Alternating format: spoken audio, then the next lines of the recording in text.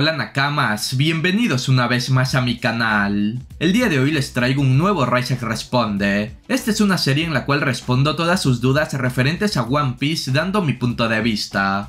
Quiero agradecer a los miembros Hopper Hernández, Elitex Revolution, Don Sifu, Alejandro Cuadra, Giuliano Casiatore, Edwin Mejía, Alex, Molly D. Luke, Carlos Alba, Miguel Contreras, Brea Games, Gael CR, Federico Cuevas, Luis Armendaris y Mateo Martínez con los rangos comandante, y a todos los miembros supernovas que se han unido. Muchas gracias por el apoyo.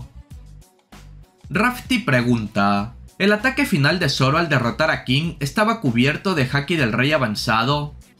Zoro después de la paliza que le estaban dando y haber recordado su pasado, se levantó y tomó a Enma sin contenerse. Desde ese momento hasta que la pelea finalizó, usó Haki del rey avanzado. Los rayos negros de sus espadas no pararon. Obviamente el ataque final fue hecho con recubrimiento de Haki del Rey. Aquí la cosa es que gracias a Enma pudo desarrollarlo. Al ya no contenerse para evitar que Enma le extraiga demasiado Haki y morir, dejó que todo fluya. Se podría decir que Enma le permitió a Zoro llevar su Haki del Rey al siguiente nivel, obviamente poniendo de su parte al no contenerse él mismo. Yodakun pregunta, si has notado, todas las armas ancestrales han estado en reinos o países que estaban apartados del gobierno mundial. Plutón Guano, Poseidón Isla Yojin, hasta hace poco aceptada por el gobierno mundial, por lo que Urano estaría en Elbaf. ¿Qué opinas? Tiene mucho sentido. De por sí por lo poco que se ha dicho, parece que las armas ancestrales pertenecían en parte al reino próspero. Aunque Poseidón es una pertenencia, había un lazo entre la princesa Sirena y Joy Boy. Lo más probable es que el resto de armas ancestrales los hayan dejado a sus aliados más poderosos para que la protegieran, Plutón a Guano y Urano a Elbaf. Lo que me causa curiosidad desde el arco de Pan Hazard es que mencionaron que con un ejército de gigantes se podría llegar a conquistar el mundo. De por sí a las armas ancestrales también se las considera tan poderosas como para conquistar el mundo. Crocodile creía eso de Plutón y por eso lo quería. Es muy curioso cuanto menos y le daría más sentido a que Urano si esté con los gigantes. Miguel Inglés pregunta, ¿Y si Laftel estuviera en el Florian Triangle y las criaturas que aparecieron al final de Thriller Bark fuesen los guardianes del clan de los D que custodian Laftel? De esta forma nadie llegaría, ya que entre la niebla, los monstruos y que no esté en el nuevo mundo, nadie buscaría ahí. Los Red Poneglyph, aparte de su ubicación, si juntamos la información de todos, podrían indicar cómo navegar entre la niebla por ese mar. Eso explicaría por qué al final del arco de Thriller Bark, los guardianes del clan de la D, los monstruos, observan de lejos el barco de Luffy sin atacarle al reconocerle como uno de los suyos. Nos dejaron muchos misterios con este mar. Las sombras gigantes incluso dejaron un hype terrible. No sería descabellado que allí se encuentre la isla mítica justamente porque es un mar desconocido y de difícil navegación. Sin embargo, lo de las sombras siendo guardianes y evitando atacar a Luffy porque es uno de los suyos, ahí sí ya está un tanto descabellado. Sunesha que fue cama de Joy Boy no sintió nada en Luffy hasta que él despertó su fruta. Solo allí sintió el regreso de Joy Boy. Así que si ni Sunesha lo sintió teniéndolo encima suyo, menos estas sombras que estaban a la distancia, en caso de ser guardianes claro está. Ryu Hanawa pregunta, si Grimbull atacara a Luffy con su habilidad de absorber cosas, ¿crees que con el despertar este evitaría eso, ya que con Kaido Luffy aceleraba su corazón para evitar perder su transformación?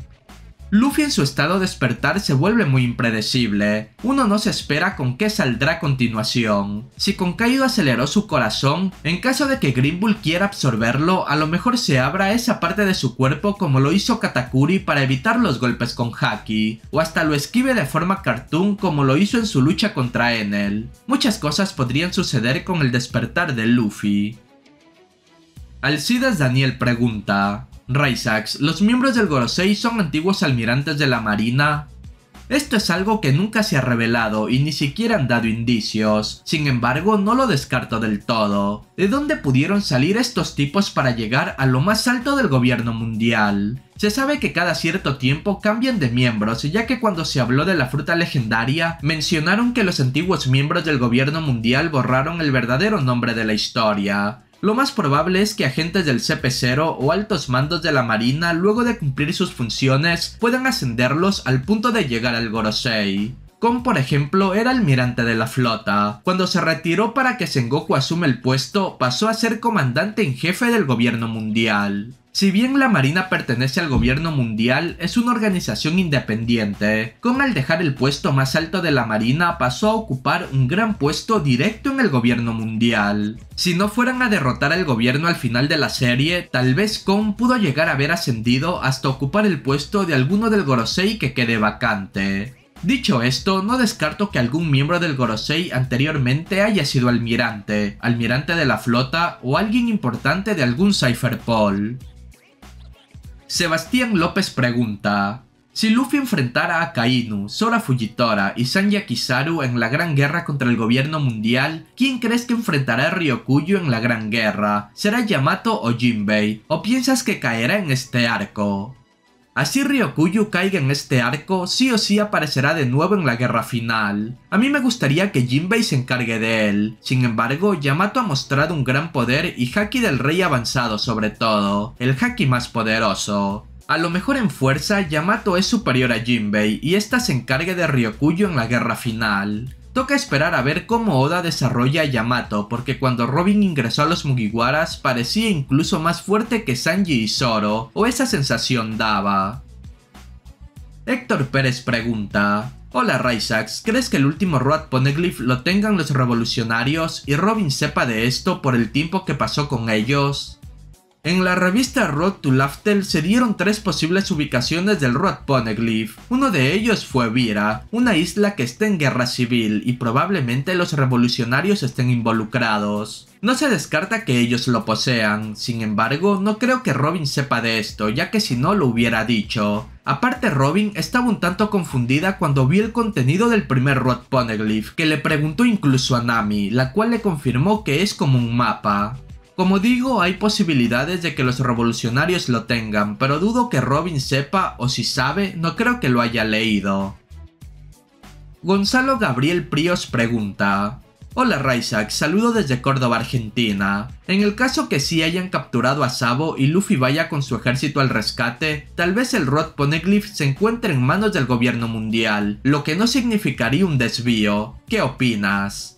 Este sería un escenario muy favorable, pero el Rod Poneglyph tendría que estar justamente donde tengan capturado a Sabo, y dudo mucho que el gobierno lo tenga en alguna especie de prisión. Si está en manos de ellos, debería estar fijo en Mary Joyce, ya que ellos no permitirían que ni la marina ni nadie los obtenga. Ellos quieren desaparecerlos. ¿Qué mejor que ocultarlo donde nadie normal entraría? El castillo de Pangea o su sala de tesoros. Bien Nakama, si quieren participar en un siguiente Raisa que responde, solo tienen que comentar su pregunta y si es de las más votadas aparecerá fijo en el video. También escogeré algunas random para que todos tengan oportunidad de aparecer. Muchas gracias a todos los que llegaron a esta parte del video. Cualquier recomendación para futuros videos o cosas del canal pueden dejarle en los comentarios que con gusto las tomaré en cuenta. No se olviden de seguirme en todas mis redes sociales, ya que allí podrán estar al tanto de noticias en general de One Piece o de actualizaciones para el canal. Nos vemos en un siguiente video. Adiós.